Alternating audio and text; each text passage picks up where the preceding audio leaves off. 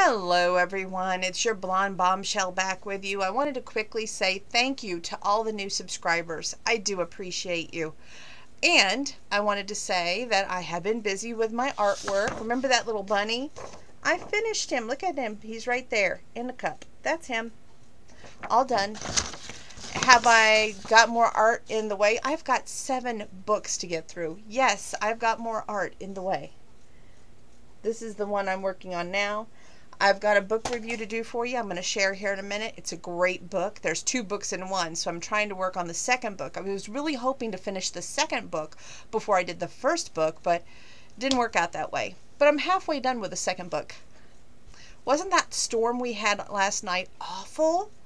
I had to come in here because I heard something in here go off, and I was like, oh, what went off, went off. I was all a panic, all a fright. And it was something in my room that's electronical and I had to come in here immediately and just make sure it was fine and not having any other issues other than it hit the power, I guess, and restarted the power on everything. So everything was fine though, thank goodness. Now, to the real important matter. Grandpa's 97th birthday is June 23rd. Get those cards and letters in the mail.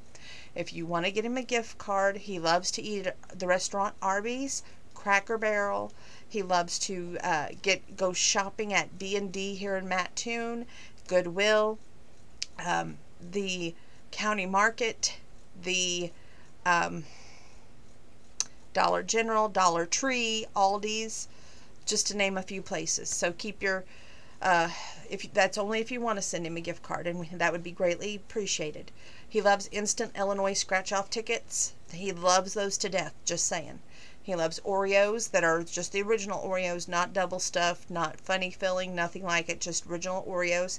He loves chocolate donuts, and they have to be their little round mini like things from Hostess or out at Aldi's in a big container.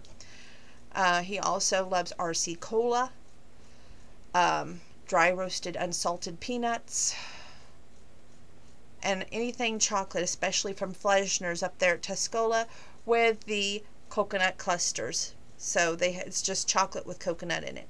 They have milk chocolate, dark chocolate, and white chocolate. He will eat milk and dark. He's not too much on the white. Uh, so basically those two flavors, if you want to get those, it's like $23.96 a pound. So just letting y'all know. But it's so good, you won't regret it. And if you go there, make sure you go there to eat because they have um, homemade, well, their food's amazing. A, and B, homemade ice cream for dessert of any kind that you want, homemade candy to take home with you after you have your homemade ice cream, just saying. So that's my advertisement for you, Fleischners. I love you to death. You know that. Um, anyway, um,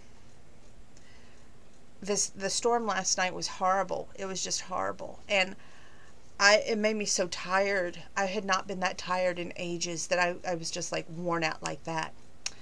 So I want to do a book review tonight for you. I've been really working hard to get that second book read so I could get it all done at one time, right?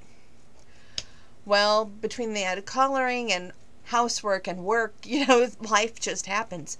So there's no real time to focus on reading, but I promise you I will get the second book read, but we're going to start that first book review tonight.